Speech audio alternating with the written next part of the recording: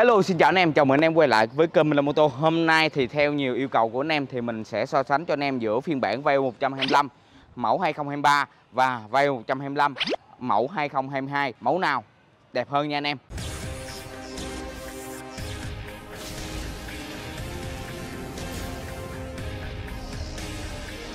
Thì đầu tiên và bên phải mình đây là mẫu Vario 125 bản chưa tắt máy 3 giây Còn bản bên trái bên đây là bản VIO 125 có tắt máy 3 giây Ok về tổng thể đầu tiên của hai mẫu xe này thì anh em có thể thấy là ở VIO 125 mẫu 2022 thì chúng ta sẽ có nhiều chi tiết uyển chuyển đường cong à, tạo cái một nét gì đó vẫn là hiền hà so với lại phiên bản của VIO 125 bản 2023 nha anh em. Rất là gân guốc luôn rất là thể thao. Khi mà các đường nét chúng ta được thiết kế góc cạnh hơn rồi à, sắc nét hơn ha từ trước ra sau luôn anh em một tổng thể rất là đẹp. À, thì có thể đánh giá luôn mẫu Vario 125 này so với lại mẫu Vario 160 á, thì mẫu Vario 125 này vẫn đẹp hơn rất là nhiều luôn. Tại vì nó thon gọn vừa mắt người Việt Nam mình hơn đúng không anh em? Và hai mẫu xe này thì chúng ta vẫn sử dụng khối động cơ là 125 cc làm mát bằng dung dịch hai van 4 thì. Đó anh em. À, và hiện tại thì hai mẫu xe này chúng ta vẫn chưa nâng cấp về động cơ mới ha nhưng mà đã được nâng cấp về những cái tính năng, kiểu như là người Việt Nam mình thứ nhất đó chính là khóa mắt cây anh em.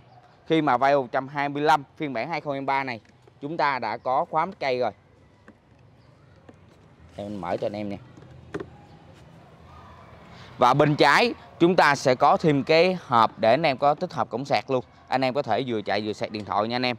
Rồi, đây là phiên bản chìa khóa của Vario 125 đây mình sẽ bóc ra cho anh em coi thử luôn nó như thế nào nha anh em. Đó. Đây thiết kế mắt cây của Honda.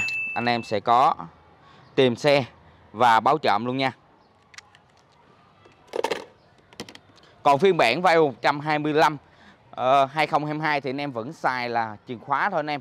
Nhưng mà anh em sẽ mở cớp trực tiếp ở trên đây luôn và phiên bản V125 phiên bản 2022 á, có phiên bản tắt máy 3 giây nữa. Tắt máy 3 giây thì anh em sẽ tặng thêm một cái remote riêng để cho anh em chúng ta có chức năng là tìm xe và báo trộm. Còn ở phiên bản không tắt máy 3 giây thì anh em sẽ không có. Ngoài ra thì ở phần dưới dàn chân, anh em sẽ thấy sự khác biệt tí xíu nữa.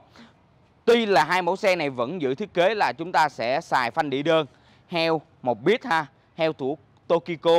Nhưng mà ở phần trong anh em thấy là chúng ta sẽ thay được thay đổi bánh mâm nhìn thiết kế mới hơn. Khi mà Vario 125 này uh, phiên bản 2023 chúng ta đã mang thiết kế mâm khá là giống với lại Vario 150 hoặc là giống với là SH 150 tại thị trường Việt Nam anh em. Ngoài ra thì ở cái vành đĩa này à, chúng ta cũng có thiết kế mới cắt gọt hơn nữa kiểu nan hoa đó anh em. Nhìn nó cũng thể thao hơn ha. Trước và sau luôn. Ngoài ra thì hai mẫu xe này chúng ta vẫn uh, được giữ nguyên những cái tính năng như là tắt máy 3 giây nè rồi ở phần trên chúng ta sẽ có đồng hồ LCD khá là giống nhau luôn. Đó chúng ta sẽ có cái khoảng để chân rất là rộng luôn thiết kế kiểu Vario thôi anh em. Và hiện tại mức giá của hai mẫu xe này cũng có khá là chênh lệch anh em. Khi mà Vario 125 uh, phiên bản 2022 này thì bản CBS giá tầm khoảng 48 triệu bao VT tại Minh Long Mô Tô. Bản Vario 125 tắt máy bây giờ chúng ta sẽ có phân biệt hiệu màu giá tầm khoảng 49 triệu 500 tới 49 triệu 900. Trước mắt anh em đây Vario 125 vẫn chưa có giá tại Minh Long Tô Lý do là phiên bản Vario 125 2023 vẫn chưa hoàn thành thủ tục đăng kiểm tại thị trường Việt Nam.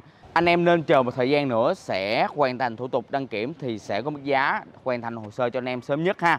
À, và hiện tại Vario 125 phiên bản 2023 này cũng có hai phiên bản luôn anh em. Phiên bản tắt máy 3 giây và phiên bản không tắt máy 3 giây anh em đừng quên cho mình xin một like và một đăng ký kênh để mình sẽ khi nào có giá mình sẽ cập nhật cho anh em sớm nhất và anh em nhận thông báo sớm nhất nha. Cảm ơn anh em xin chào và hẹn gặp lại.